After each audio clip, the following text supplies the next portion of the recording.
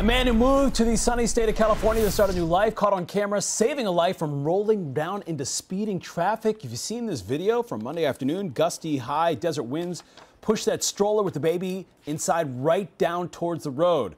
The baby's great aunt fell, struggling to get back on her feet after falling as the nightmare happened right in front of her. The Good Samaritan had just wrapped up a job interview when he stepped into this new role as that little boy's hero. I wouldn't be able to live with myself if I did nothing, of course, you know. I'm just glad I realized it and was on it, you know.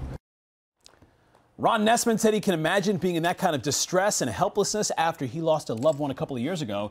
He hopes the situation can help remind parents and caregivers to make sure you always lock the wheels on that stroller.